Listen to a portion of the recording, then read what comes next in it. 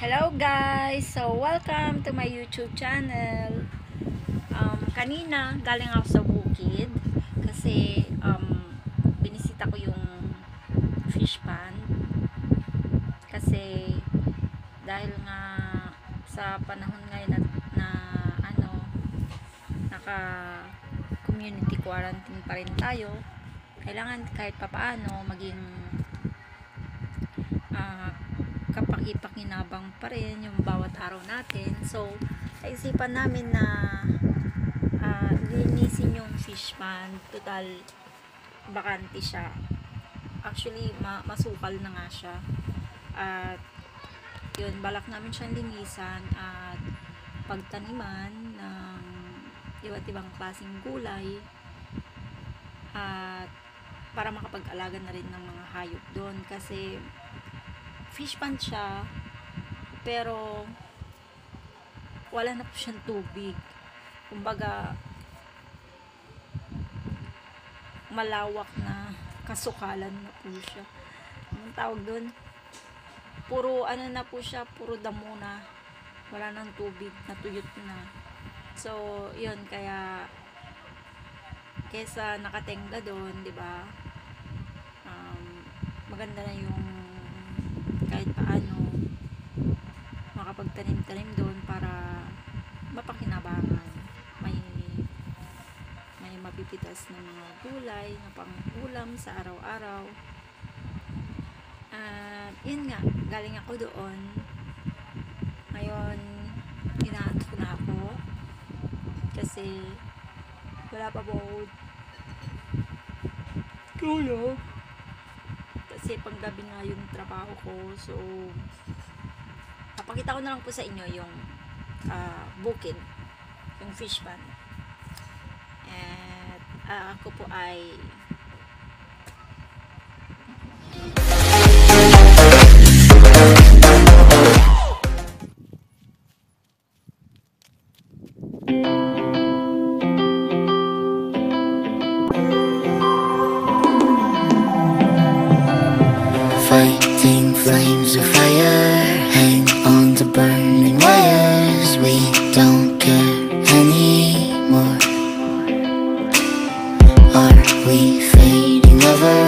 We keep wasting colors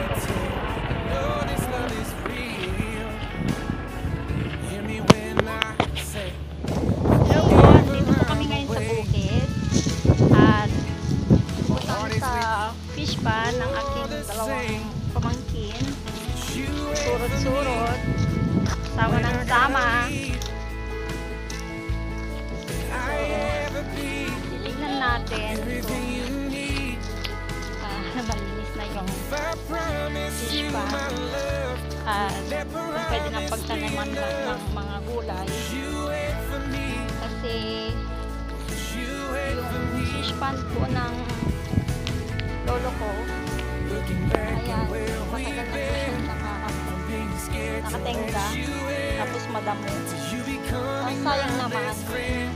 lalo't ah, andito, andito kami sa probinsya.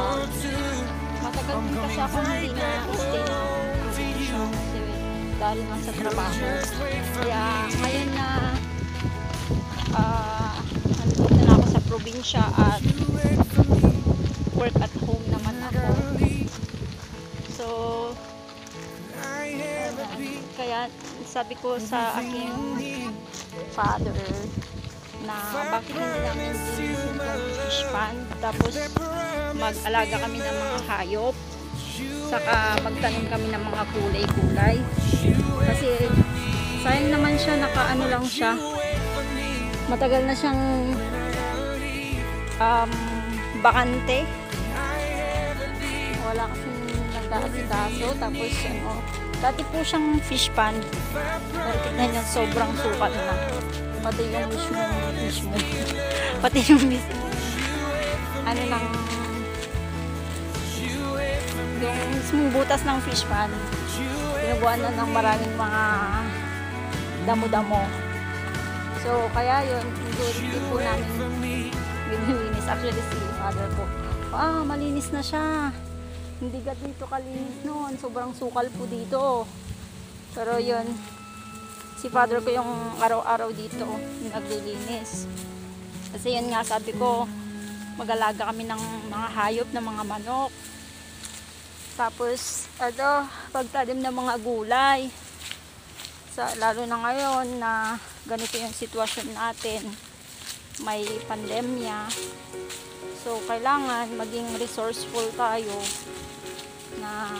dapat kahit papano may mga tanim talaga tayo na mga gulay na kapag kukunan natin ng pang araw-araw wala malinis na siya alam niyo nung last time na nagpunta ko dito sobrang sukal talaga siya. Yung matatakot kang pumasok kasi baka may maapakang kang ahas. Ayun malinis-linis na siya niya na talagay na yan. Pero marami pa rin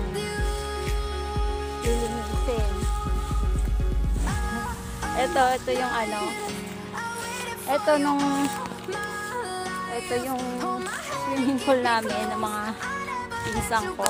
Maliit na swimming pool kasi dati nung um, gumagana pa ito ng fish pan ito fish pan po yan. Ngayon sa fish pan malinis na po siya nalinisan na po siya sa lagay na yan pero nung last, last week lang. Punong-puno yan ng mga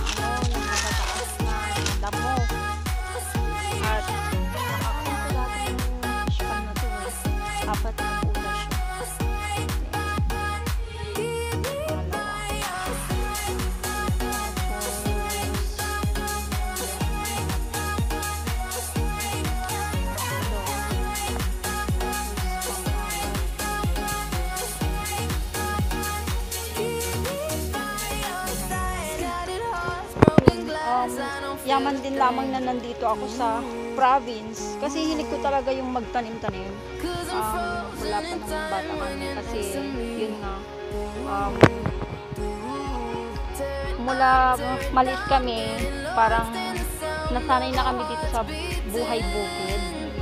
Kasi yung lola, uh, lolo at lola ko mahilig silang magtanim-tanim. Sila talaga yung nangangalaga dito.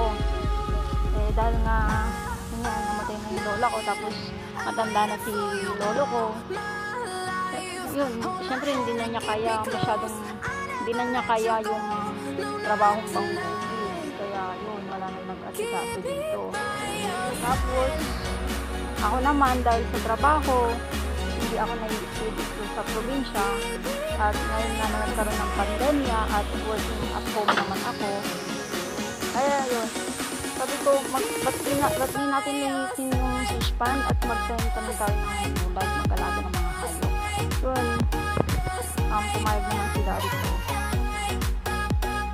Hmm, kaya yun, araw-araw siyang nagpupunta dito. Kaya, bala ko kada day off ko, pupunta din ako dito para tumulong mag-clean. Para magandang tignan. Kasi balat namin mag-clean iba't ibang gulay.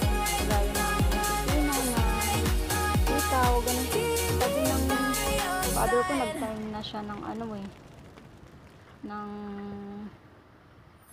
pipino sitaw dito. Hindi ko lang alam kung saan banda. Tapos, yun, um, bibili pa ako ng mga ibang klase ng buto, kagaya ng upo, ganun. May mga tanim ng, may mga bibili na ng sili, saka talong. Ano pa ba yun? Pechay at kamatis dun sa bahay, pati mga papaya. Bali kapag talagang malinis na to, yun, i-ano namin dito. Tatamnan namin dito. Kaya, Ah, kasi alam nyo, nung mga malinis pa kami, very memorable talaga tong lugar na to. Kasi, dito kami natutong mangisda. Kasi yung lolo ko talagang mahilig siya mag-alaga ng, ng mga hayop. Magtanim-tanim siya, nagtatanim-tanim siya ng kung ano ang dati dito. Tapos, ano, yun nga, na, nasubukan ko ba yung manlilimas talaga kami ng, ano, ng isda. Tapos, hindi pong, ano, yung naka-short ka. Tapos, pag angat mo na ganyan, may pumasok na na, na isda sa loob ng short mo. Hindi pong gano'n. Tapos, ano, um, na, na-experience ko din yung ano, dahil nga bangad kami. Alam niyo yung bangad, pasaway. Marami kasi kami magpipinsan. Puro kami mga babae. Um, mga pasaway kami. Um, nag-ano kami, pag panahon ng ah, tanim ng pagtatanim ng palay, nakiki ano din kami, nakiki nakiki pagtanim din kami. Yung nagluluglog lang nga eh. Nag-ano lang kami. Parang sa amin lang laro-laro laro laro laro ano ba yan nabubulol ako. Laro laro laro laro lang. Para nag enjoy kami. Na, na inuutosan kami ng mga magulang namin na maki ano makisig ka. Sino ang Tagalog?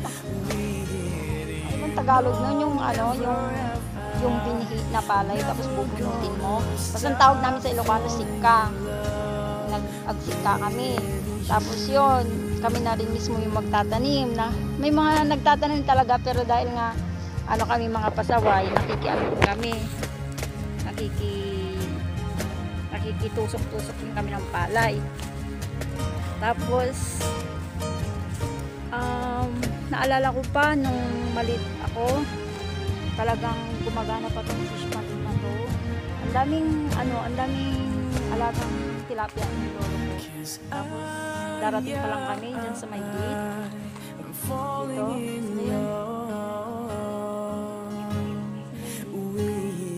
ayun ayun.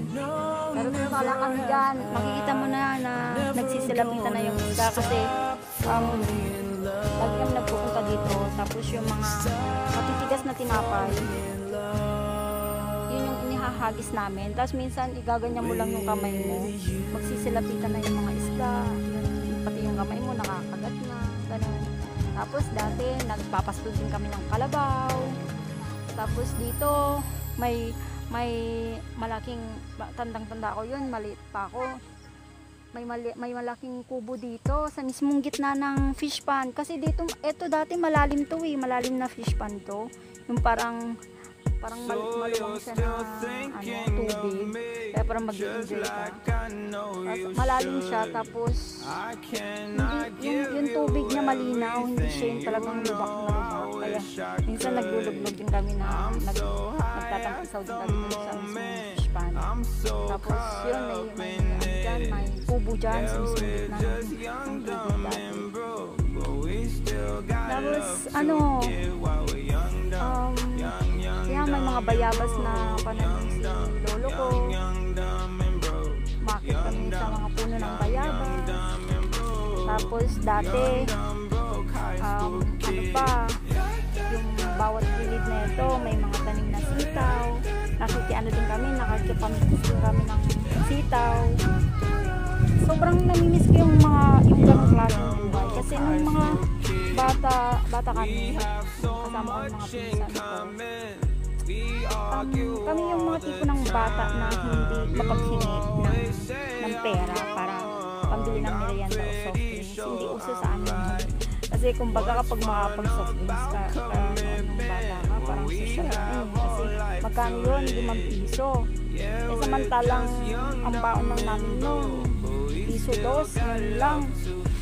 Kaya madalas, nagbabaon kami ng sarili namin merienda. Tapos yung merienda namin, kami talagang mag, uh, magpipinsan nagpo-produce. Kasi maraming pananim na saging, maraming pananim na kamuting kahoy, tapos um, mais, mga uh, yun nga, yung mga yung kamote, ganun. Talagang nagpupunta kami uh, dyan sa irigasyon, may irigasyon kasi dyan talagang nagpupunta kami ng mga pinsan ko dito para para lang mam- mamungkal ng lupa at kumuha ng kamuting kahoy. Tapos yun, yung kamuting kahoy, kami nang mismo magluluto, na magpipinsan. Minsan, ginagawa namin linilibot. Yung tawag dun, yung, dudurugin namin ng dudurugin yung ano, yung nilaga ng kamuting kahoy. Tapos, or, or kakadkadin namin, tapos dito namin. Basta marami siyang ano, klase ng luto kasi minsan ginagawa din namin suma. Ganon. Tapos, yung, ano, yung, yung mga saging naman. Oy, alin na kayo dito, alin kayo dito. Yung mga saging naman, um, dahil matataas, yung mga punong saging minsan, paunahan kami mga magpinsan kung sino yung lagi kami mga dalang may lagi kami may mga dalang pala dalang itak kasi yun nga ang ginagawa namin nagbubungkal kami ng lupa uh, market ng ng puno ng bayabas ng suha ng duhat ganyan tapos uh, o kaya yung saging iit iitakin namin mismo yung puno ng saging kasi syempre hindi naman namin maabot yung yung bunga. Tapos kapag naitak na namin yon uh, at pinag ano, inano ano na namin yung bunga ng saging, iiwanan namin mismo sa may talahiban. Tapos babalikan na lang namin yung saging pag hinog na siya. So ganun, tinatakpan namin ng mga damo-damo na talahib hanggang sa mahinog siya. Tapos yun, babalikan namin magpipinsan. Tapos yun, may merienda na kami. Ibang-ibang klaseng saging yun na. May senyorita, may dipig, ano ba yung tawag doon? Dipig. Tapos may yung kulay green na saba, na mahaba. Tapos, basta iba-ibang klase ng saba, ng saging. Kaya, kahit sabihin mong iba-iba, ma- masarap kasi iba-iba, kahit, kahit sabihin mong saging yan, iba-iba pa rin yung lasa. Depende talaga sa klase ng saging. Tapos yun, yun, nakakamiss talaga yun. Kaya parang, yun yung namimiss ko dito sa buhay bukid. Kaya, ano, alam ko, ano, um, pag napanood ng mga pinsang ko to, alam ko, maalala nila yung mga experience din nila. Experience namin kung paano kami lumaki dito sa, sa bukid. Tapos, ano, yun lang, talagang um, yun din ang kagandahan na naidulot ng yung, ewan ko kung ano bang pwede kong gamitin term. Kasi siguro kung hindi nagkaroon ng pandemya wala din chance na mag-stay ako dito talaga sa probinsya. Kasi dahil nga sa trabaho. At yun Although hindi ako nakakapunta dito araw-araw kasi laging puyat. Um, dahil nga yun nga, ang trabaho ko po ngayon ay isa akong call center agent. Tapos uh, sa gabi nagtatrabaho from from 9 p.m. to 6 a.m. or up until 7 p.m. ay um, 7 a.m. Yun kaya pagdating sa araw, tutulog din ako. Parang wala din lakas na lumabas lalo na pag mainit. Pero, yun nga, parang sayang naman yung oras. kung nauubos lang yung araw ko na andun lang ako naka, nakakulong sa loob ng kwarto. Kaya sabi ko, um, pipilitan itong araw-araw na pumunta dito sa bukid at um, kahit pa paano magdamo-damo. Tapos yun, kada day off ko, yun talaga mag, yung parang pupunta ako dito para yun tulungan yung father ko na magdamo-damo tapos magtanim-tanim para naman bumalik yung dating sigla nitong lugar. Kasi sobrang ang dami naming memories na magpipinsan sa lugar na to lalo na nung buhay, buhay pa yung fish pond. Tapos ang daming alaga ni lolo ko dati mga pabo, mga gansa mga pato, mga kambing kalabaw kaya nakapanghinayang na wala na yon at kung may pagkakataon naman na ibalik yung dating ganun kasi masaya siya eh. At gusto ko rin maranasan ng mga ano namin, mga anak namin mga pamangkin, yung mga naranasan namin ng mga bata. Hindi yung puro lang tablet ganyan. Iba kasi yung panahon ng 90s mga batang 90s so isa po ako mga batang 90s Ayan, bali tinignan ko lang po itong lugar para mas ma-motivate ako na, na kasi ako yung nag-suggest tapos ako yung wala naman wala na hindi, hindi man ako na nakakatulong na maglinis dito. So binisita ko tong lugar para ma-motivate din ako na pumunta dito araw-araw at maglinis kahit na isa dalawang oras lang, di ba? Malaking bagay na rin yun. Kasi sobrang, ano kaya nito, nung last week ako na nagpunta dito, sobrang madamo kaya dito. Parang, kasi nung, nung time na nagsasuggest ako kay father ko, hindi ko pa siya nakita. Hindi ko alam na ganun kasukal. Hindi ko talaga alam. Tapos basta sina- sinabi ko lang sa kanya na sana mag- magtinim tayo sa fish pan ng ano, ganyan-ganyan. Wala akong idea na ganun pala kasukal. Kaya na nung pagkakita ko, ala, sobrang sukal. Parang mataas pa sa akin yung damo. Kaya sabi ko, ala, kaya ba namin to? Sabi ko na, parang, ala, kaya ba namin tong linisan? Sabi ko sa isip-isip ko. Pero, kita mo naman, bilis ng father ko. Talagang, um, uh, desidido din talaga siya na linisin tong lugar. Kaya, Nalinis na siya. Malinis na siya, siya sa lagay na yan, guys. Kasi sobrang taas talaga nitong damo nung last week. Sayang hindi ko siya na-video. Ay, ewan ko na, uh, mayroon yata.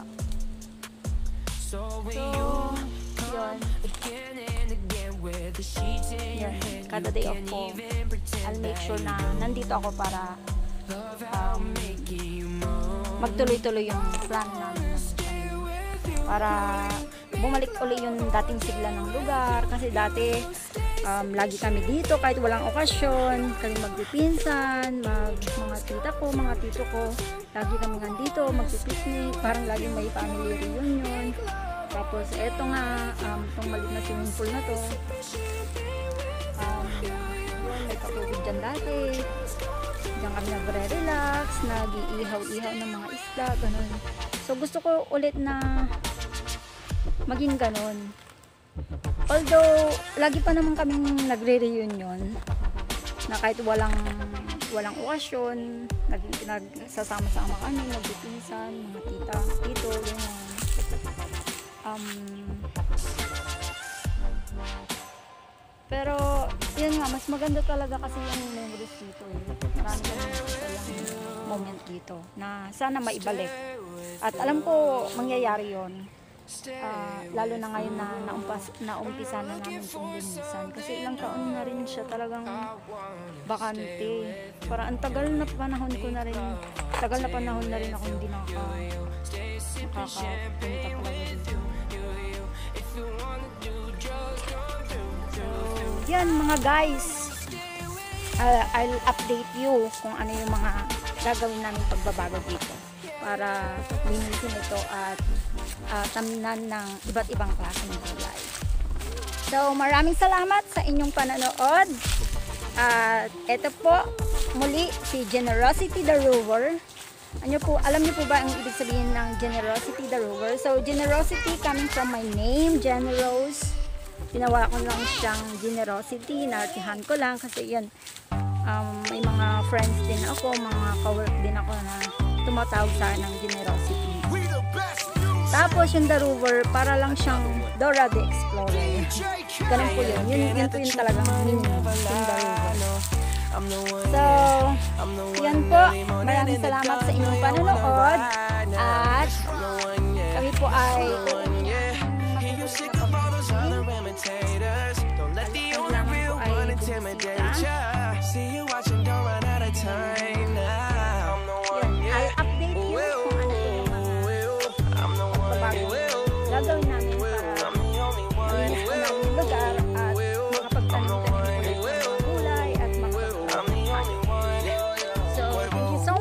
for watching. Again, my name is Generosity.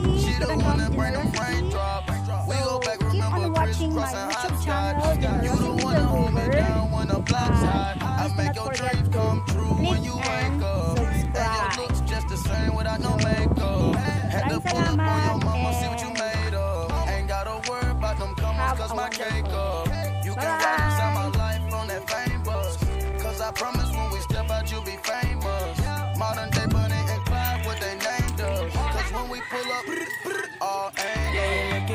truth, the money never lie, no. I'm the one, yeah. I'm the one early morning in the dawn